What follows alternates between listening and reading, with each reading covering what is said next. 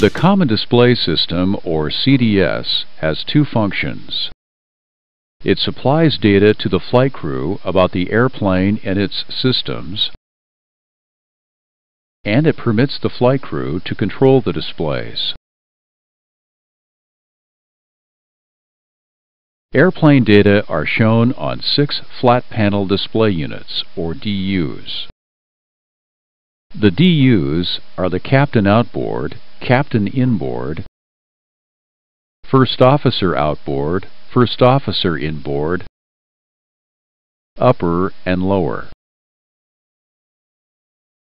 The pilot's outboard and inboard DUs normally show all primary flight and navigation data.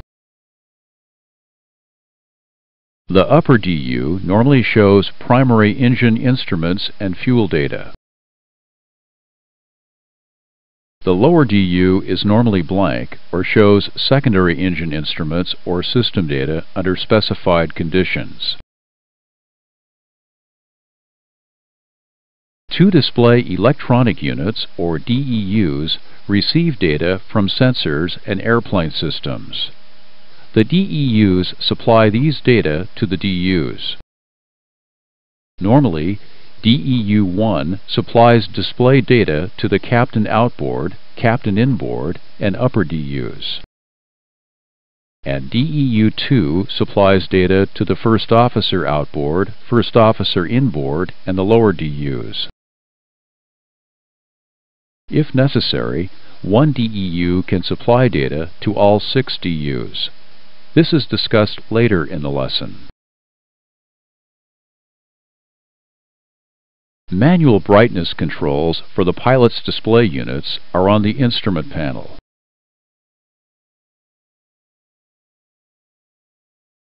Each pilot has controls to adjust the brightness of the related outboard and inboard DUs. In addition, the captain can control the brightness of the upper and lower DUs. Turn the captain's outboard DU brightness control to increase the brightness of the outboard DU.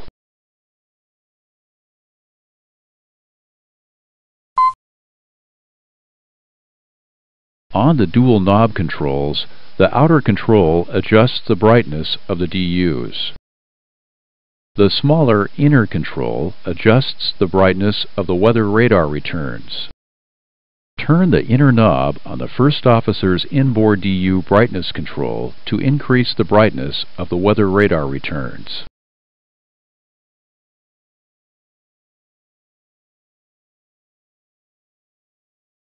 The control panels for the Electronic Flight Instrument System, or EFIS, are on the glare shield. And the control panel select switch is on the forward overhead panel.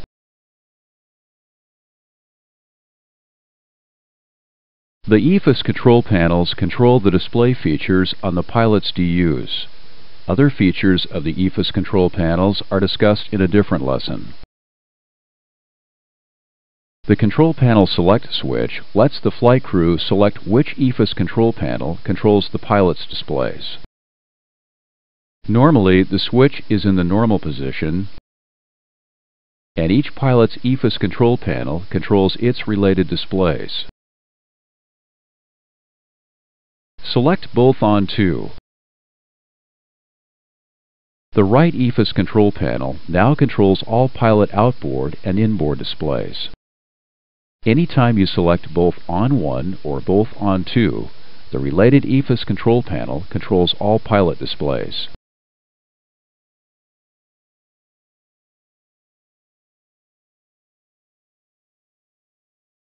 The display source selector is on the forward overhead panel.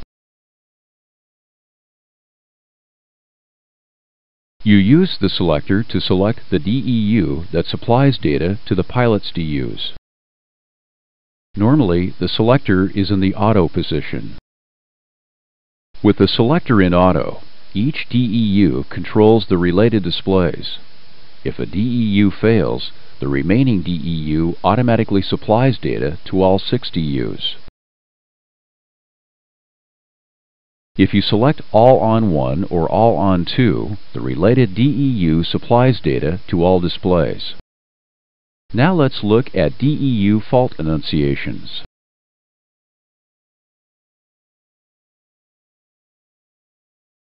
If a DEU fails on the ground before engine start, CDS fault illuminates on the pilot's displays.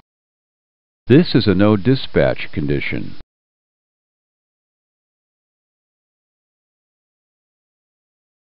If the display system senses a serious DEU problem, the CDS maintenance indication illuminates on the ground. Dispatch is not permitted. The CDS maintenance annunciations extinguish when an engine is started. If a DEU fails in flight, display source illuminates. This shows that the remaining DEU supplies data to all six DUs. All displays are available and operate normally.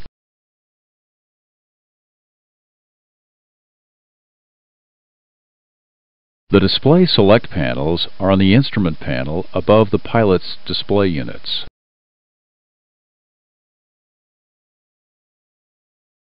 Each display select panel has two selectors that permit the pilots to control the displays on the related outboard and inboard DUs and to control the display on the lower DU. The main panel DU's selector has five positions, normal, outboard primary flight display or outboard PFD, inboard engine primary, inboard PFD, and multifunction display or MFD. The lower DU selector has normal, engine primary, and navigation display, or ND positions. Normally, all selectors are in the normal position. In normal, the pilot's outboard and inboard display units show primary flight and navigation data. And the upper display unit shows primary engine and fuel data. The lower display is normally blank or shows secondary engine instruments when the CDS initially receives power. Engine failure or shutdown in flight when selected on the multifunction display or MFD or when secondary engine limits are exceeded. If a DU fails, Automatic display switching makes sure the necessary data are always available to the pilots.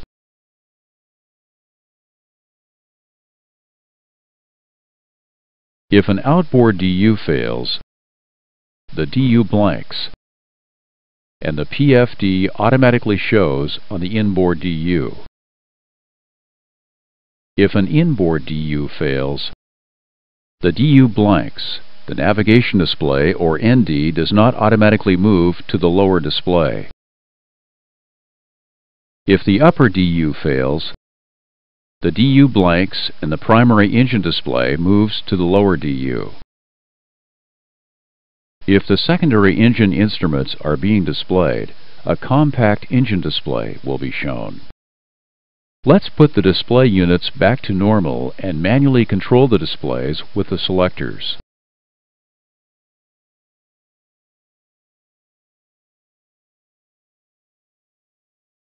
Select Outboard PFD with the Captain's Main Panel DUs selector. The outboard DU will continue to show the PFD display, but the inboard DU will blank.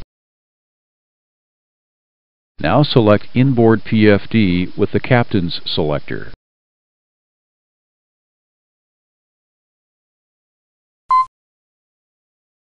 The inboard DU shows the primary flight display and the outboard DU is blank.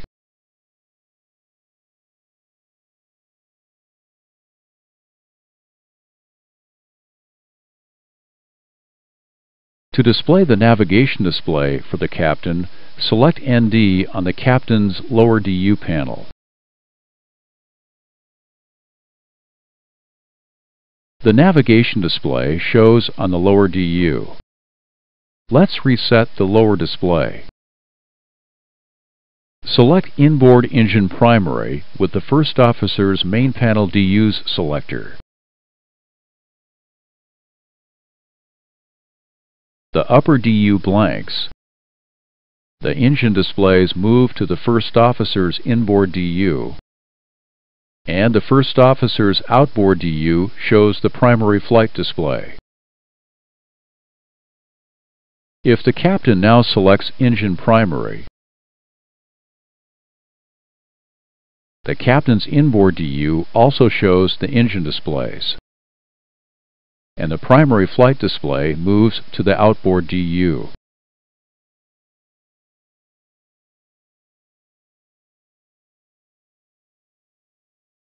Now let's look at the lower DU selector.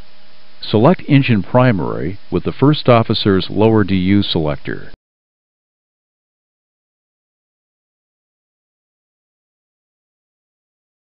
The primary engine display shows on the lower DU. Select Normal with the First Officer's lower DU selector.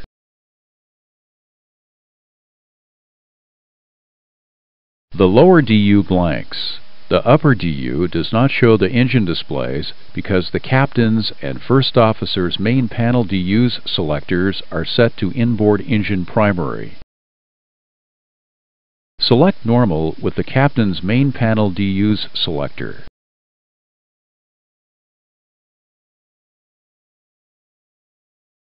The upper DU remains blank because the first officer's main panel DU's selector is set to inboard engine primary.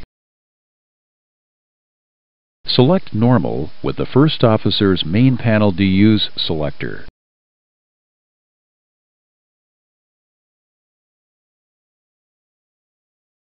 The displays are in their normal configuration. The Multi-Function Display Selector, or MFD, has two switches. The System switch selects aircraft system information on the lower DU, and the Engine switch selects secondary engine information. If either the upper or lower DU fails, compact engine instruments are displayed. Pushing the engine MFD button again switches between the compact engine instrument display and primary engine instruments display. Now let's reset the displays and use the main panel DU selector to display the MFD functions. Select MFD on the Captain's main panel DUs selector.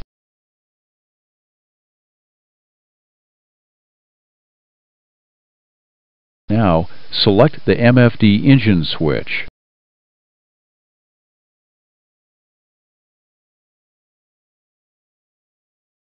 The secondary engine instruments are now displayed on the inboard display.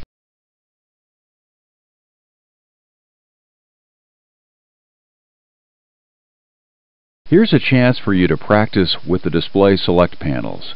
You can select any combination of switches on the panels. Touch the green arrow when ready to continue.